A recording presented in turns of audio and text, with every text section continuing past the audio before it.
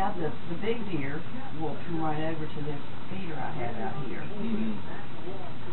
stick their tongues on, because it's one of those that's kind of a metal mesh Yeah. that the, the seeds, will- sunflower seeds will come out, Mhm. and mm-hmm. they'll lick that to get To the seed. Linda, it looks like it came apart, Probably did. you might need to